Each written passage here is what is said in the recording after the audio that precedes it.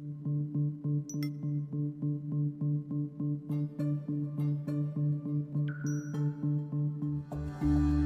you.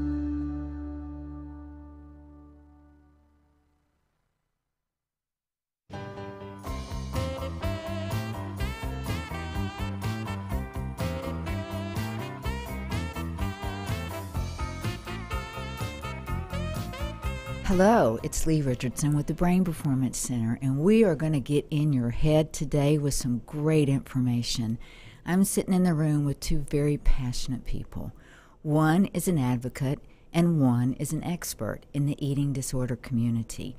And they come at this with such unique stories. I'm going to start by having Steven introduce himself.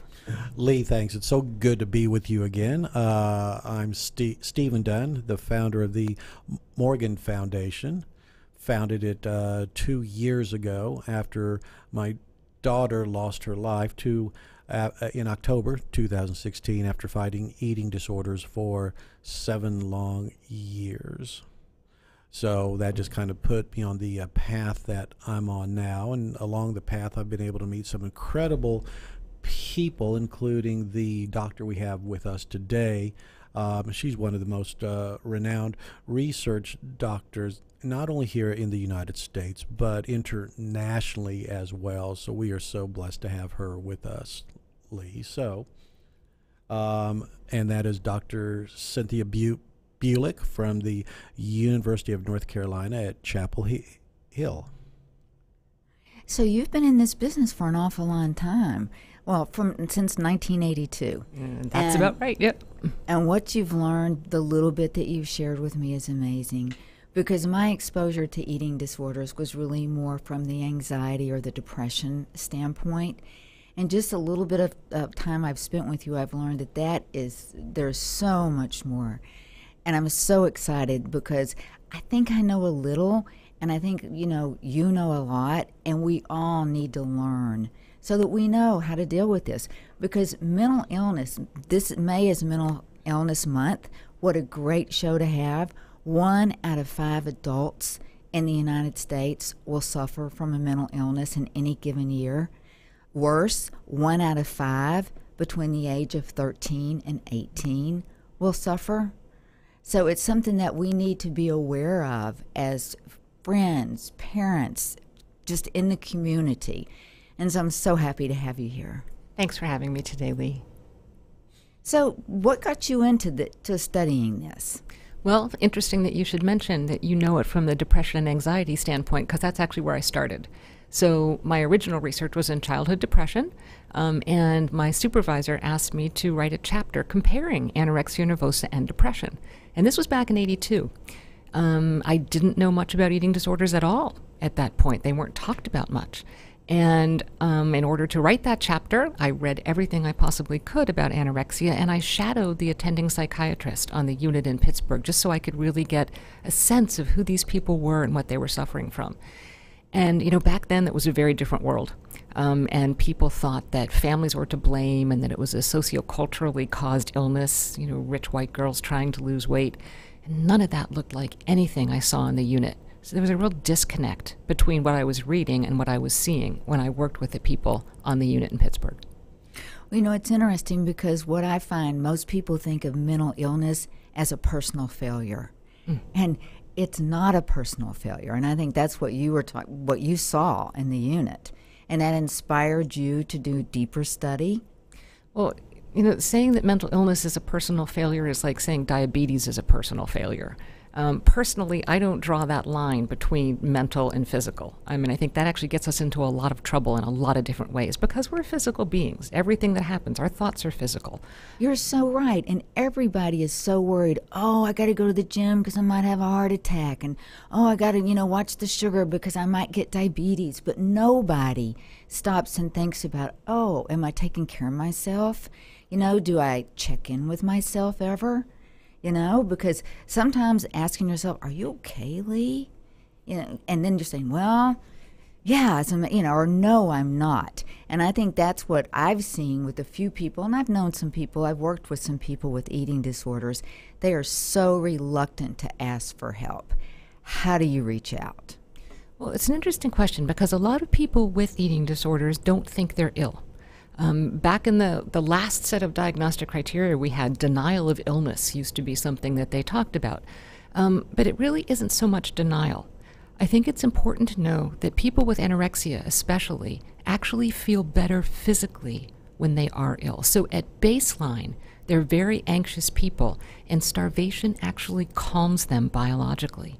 So when we're helping them, when we're help, when we're refeeding them, when we're getting them well again, it actually it, it doesn't feel good, and that's different than other illnesses. You know, when you when you have depression, you go to your psychiatrist and say, "Please take this terrible mood away."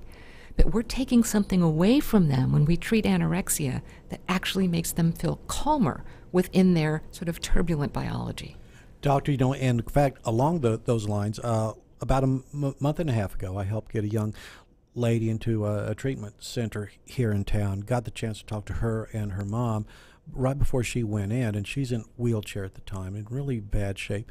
And she said, "Steve, it it, it hurts to eat though, and most people don't." Have, haven't been able to connect the dots and take that pain they feel they, they I'm sure they most people look upon it as oh it's in their heads or it's it's it's a, a, a fake pain but with her, it was it, it, it hurt her, both her stomach, her throat, and in her head to eat. Absolutely, and and that's the kind you have to have respect for the illness and for the person who's suffering in that sense, and listen to them. You know, the the worst thing is when someone says to someone with anorexia, "Why don't you just eat more?" Um, or tells a parent, "Can't you just feed your child more?" Or the opposite, someone who has binge eating disorder, which is the eating disorder where you eat large amounts of food and feel out of control when you're eating, to tell that person, why don't you just stop, is in complete denial of the fact that this is an illness and they can't help it. They need help to order in order to eat more or in, in order to eat less in the terms of binge eating disorder. You know, you make a really good point because most people, when you say eating disorder, they just think of one type, mm. anorexia. You know, that's they just won't eat. And I think you mentioned there are like three or four. Right. So let's let's talk about the topography of eating disorders. So anorexia we talked about, that's the one like you said, people lose a lot of weight. They're very thin most of the time, although not always. So we have this new category now, atypical anorexia nervosa, where they have all of the features of the disorder and they might have lost a lot of weight, but they're still in the normal or overweight range. Um, but their bodies are still starving.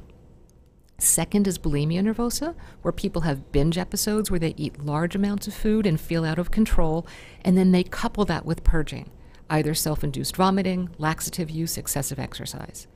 But then the what most, does that do to the gut? Oh, it's it's terrible. It's disruptive. In fact, you know, on our unit, the most common con- consults that we call are the GI docs, because you know gastrointestinal problems are rampant in people with anorexia and bulimia. And then the third eating disorder, the most common one, is binge eating disorder. And that's that binge eating behavior, but in the absence of any kind of purging. And so often, but not always, that's associated with being overweight or obese. Well, you know, you made an important, an important point in that um, the eating disorders knows everyone, not just one age or one ethnic group. It, it touches everyone. That's right. All the myths are wrong. And, you know, I've spent my career busting myths. Um, I published a book a bunch of years ago called Midlife Eating Disorders, just to open people's eyes to the fact that people don't grow out of this illness. You know, we see a lot of people in middle age and beyond who have all of these eating disorders. In fact, one of the things I was talking about last night, an event that we had, that you also see eating disorders in the geriatric population. And that's often very overlooked. But if you just look at care facilities, there are all sorts of problems. And interestingly, laxative abuse is one of the biggest ones. Um, because that continues, you know, that's something they hand them out like candy mm-hmm. um, in some facilities, and that can become you can become addicted to those just like you can with other substances. So you've done some pretty interesting research that really kind of peels the onion. Uh, tell us a little bit about that. Sure. So my work has really spanned the gamut, all the way from animal research to clinical trials to twin studies to population studies. But the main thing that we're focusing on now is the genetics of eating disorders. Um, and ultimately, the goal is to put together environmental risk factors and genetic risk factors to see how they interact, because we know that both play a role. But most importantly, we know that genetics influences all three of those disorders. In fact, about 50% of liability to anorexia is due to genetic factors. But what we're doing now is actually digging deeper, and we're doing genome wide association studies to figure out where on the genome those differences lie between people who have the illness and people who don't, and what those genes actually do. Well, I understand you're going to get a little edgy about that. well, I like when my research is on the edge. Yeah, absolutely. Um, so, what Leigh is referring to is our next big initiative is the Eating Disorders Genetics Initiative, which is EDGI. Um, and what we're actually trying to do is we're trying to get DNA from 100,000 individuals with eating disorders, as well as controls. Um, so, people who've never had an eating disorder in their life, so we can compare them. So, what we do is we get, we look at the genome collectively of all the people with the illness and compare it to the genome of all the people without the illness and see where on the genome those differences lie. And that really is the key to sort of discovering the genetic architecture of the illness. Okay, so doctor, when you do when you do that though, the problem that I've seen that a lot of research has is you come up with these fabulous ideas and then you draft these papers and then they fall into the gap and nothing occurs. From a practical standpoint, how are you going to take your work? What is that going to mean to the counselors and treatment centers and doctors out there who treat this insidious disease every day? I have a couple answers for you there, Steven. So, one of them, really interestingly, is I've been working with a genetic counselor, um, Janine Austin, who's up in Vancouver, and we just wrote this paper about what genetics means for clinicians. How can you use this in your practice now? And genetic counselors do amazing work. Um, but generally, they've been working with diseases that have sort of a Mendelian pattern. Like if you have the illness, there's a 50% chance that your child has the illness. But they have now moved into the psychiatry sphere. And we're working with them because so many moms are coming to us and saying, I had an eating disorder. Should I have kids? How, how big is the risk for my children? And so now we're engaging the genetic counselors now to explain how complex this pattern is. It's not a chance type thing like that. There are, you know, genes are involved, environment is involved. You get this mixture, this soup of risk. And, you know, we can't change the genes at this point, but we can buffer our children as much as possible. Um, and we know if someone is at increased genetic risk, they might be particularly targeted for targeted prevention efforts.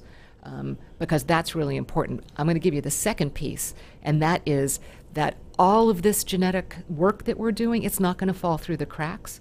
Hopefully, what it's going to allow us to do is identify those underlying biological pathways that lead to the illness, that make it hard to eat, that make someone's body weight get pulled down to such a low path, and then hopefully be able to develop therapeutics that can actually target the biology of the illness. So that second piece doesn't happen right now. It's going to take a while. We're going to have to get our pharmacology friends involved. But that first piece can happen immediately by getting genetic counselors involved. Now, we're now we're down here, in Texas, which means we like our sports. Um, now, I know you have a very unique background as it pertains to sports. I wonder if you could go into that a little, a little bit and talk about how a- athletes are impacted by this as, as well. Sure. So, what Steven's referring to is the fact that um, I'm a figure skater, have always been a figure skater. I'm an ice dancer. And when I got into this field back in the back in 82 and then looked back on my skating colleagues, I realized that so many of them had sort of started losing weight and then they just disappeared from the rink. Nobody talked about it then, but it became perfectly clear that they had succumbed to eating disorders. In fact, I had this run, one friend who, whenever we went over to her house, her refrigerator was padlocked closed. And when we were hungry, it was just a thing where we knew we had to ask her mom for the key so we could get some food out of the refrigerator. And then finally, mom, my mom, who's a pretty amazing person, asked her mom, Why is your refrigerator locked shut? And she said, Because if I don't, my daughter will eat everything in the refrigerator and then throw it up. This was years before bulimia was even a word, before it was discovered. So this has been around for so long. And I think this is probably part of what drew me into this field, is my academic interests and my sports interested sort of collided um, in the eating disorder space. And, you know, sports don't cause eating disorders, but they sure can exacerbate them You know, and I think about some of my kids' coaches because all my kids coached as well, and we had some, you know, former Soviet Union coaches who would say things like, you know, when we competed, all we needed was cigarettes and coffee. Um, and I'm like, do you know whose daughter you're talking to right now? Um, but that kind of mentality can just be so Absolutely. damaging. And they and the nicknames that you know, my nickname was Lead Bottom, and my best friend was Thunder Thighs. And what does that do for body image? It's terrible. Um, so what does that do sports is a mental risk. health? Oh yeah, it's not good. mean, if you're robust, you can deal with it. But if you're vulnerable, it sticks with you forever. And you get that negative self talk. You know, you hear that thunder thighs, lead bottom, you hear that over and Yep. over and over. Yep. And, it, you know, you, you bring up some really good points.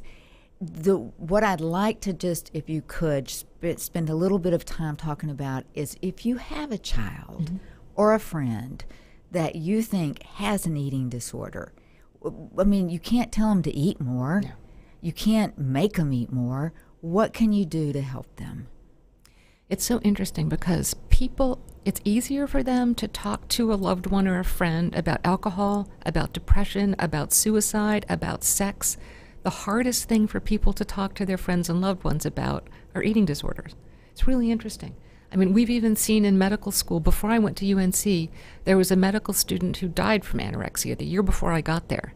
Everybody knew she had anorexia, but nobody talked with her about it. And what I always tell people is you need to approach people with firm compassion. You need to understand that the behavior is driven by enormous anxiety, and what you have to convey is your deep concern for the person's welfare. And there's a chance that they're going to get really angry with you. But the alternative, as unfortunately we know, could potentially be death because anorexia has the highest mortality rate of any psychiatric disorder. So approach with firm compassion, tell them you're concerned about them, and the most important first step is to get a comprehensive evaluation.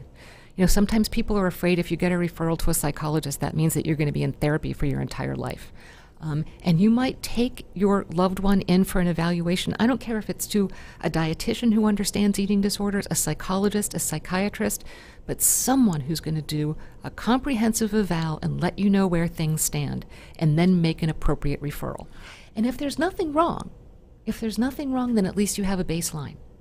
And if things do get worse, you can compare it to that baseline. But isn't that also an I- issue, though? We know, for example, in a standard three year uh, me- medical school curriculum, on average, our young doctors are getting one hour of training on eating disorders. So as a result, we have a tremendous number of doctors, counselors who don't are do, don't know about the disease, don't understand it, misdiagnoses. You know, what can people do to make sure that the people they go to actually know what they're ta- talking about? Yeah, unfortunately, I think most physicians learn more about eating disorders from People magazine than they do from their medical school curriculum, which is there is is there a website? Uh, Is there an organization Yes. nationwide? Yes. So UNC has actually just been named the National Center of Excellence for Eating Disorders by the Substance Abuse and Mental Health Administration. And our job um, is to train clinicians of all sorts and educators and trainers in evidence based information about eating disorders. That website is nceed or nceedus.org.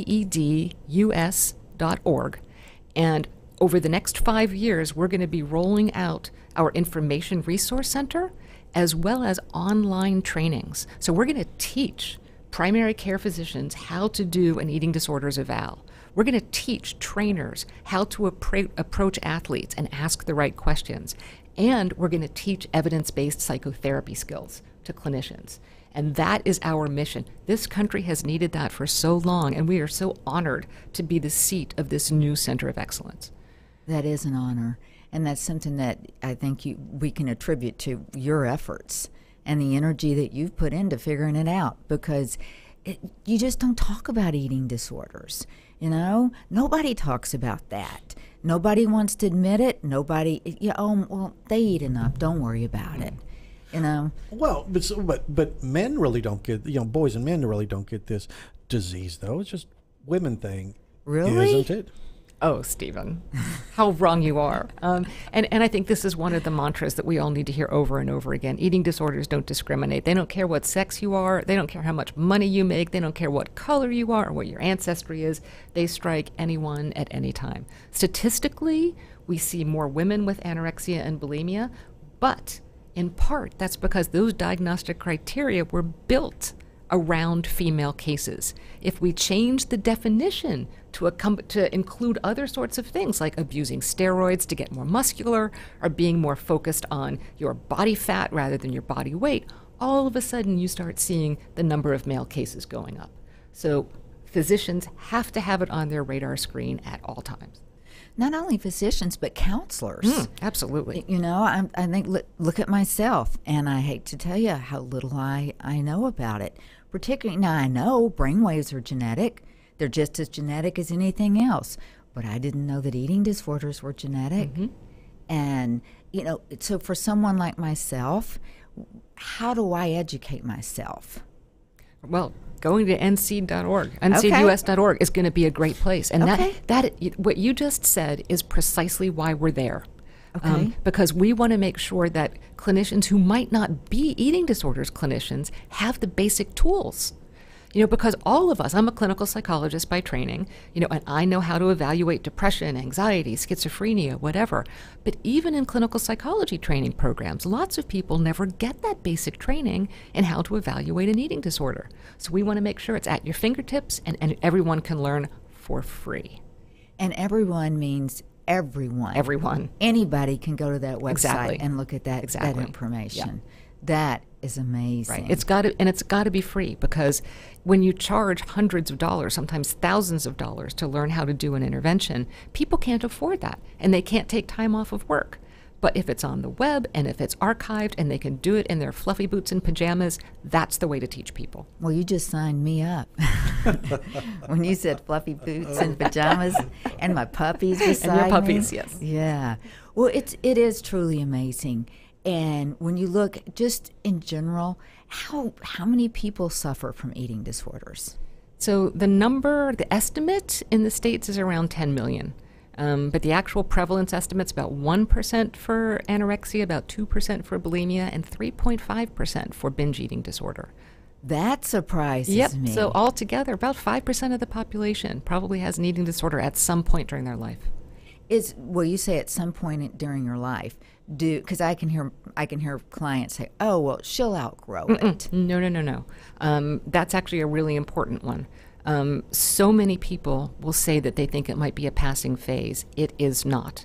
If we see someone who comes in with sub-threshold symptoms, you know, they don't quite meet a diagnostic criteria, the next time we see them, it's much more likely that they're going to have a full, full-fledged disorder rather than those symptoms having evolved. So it tends to go up and get worse rather than go down and resolve. so don't close your eyes No and way. hold your breath Stay and ho- vigilant. and hope it's going to go away Right. because it's not No.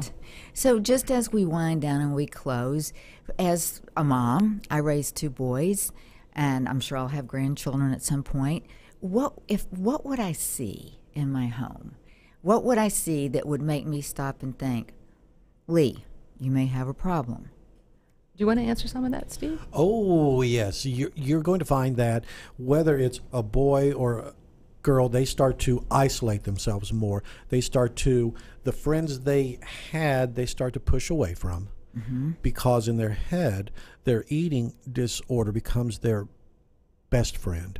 Uh, when you eat meal with them, you notice that they might push the food around a little bit, and right after they eat, they excuse themselves to go to the bathroom, of course. Um, they might eat at strange times of the day and strange combinations of food, but it's mo- uh, I think it's mo- it manifests itself in their personalities and how they look upon themselves and their friends. Um, and the one thing that you know, I've said, the number of talks I've I've I've got to give. Excuse me. That well, that sounds Got to really give? got, got to give. um, I tell people in schools if you believe you have a friend who's afflicted with this disease, talk to the counselor at school, talk to their teachers, talk to their mom and dad. You're not going to be rat- ratting them out. You could be saving their life. You know, and that comes from your heart. I know it does because I know I know the Morgan story. And if any of you want more information, you can visit themorganfoundation.org and and learn more about what Steven has been through. And as you go, you know, as you now I hope we've opened some eyes. That's really what I hope from as a result of this podcast is we've opened some eyes. And if nothing else, people are starting to understand it's a problem. It's an issue. It's they're not going to outgrow it. It's not going to go away. They need help. And the but what I heard you say is be compassionate. Mm-hmm. Reach out. Put some effort there. So I, I thank you both so much for being here today.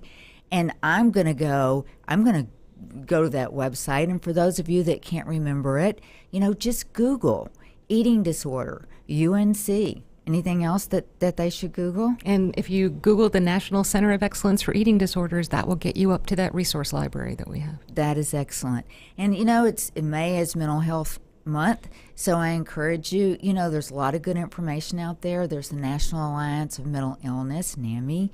Go to that website, look and see, educate yourself. You know, don't just stay don't just stay worried about your physical health. Start to worry about your mental health.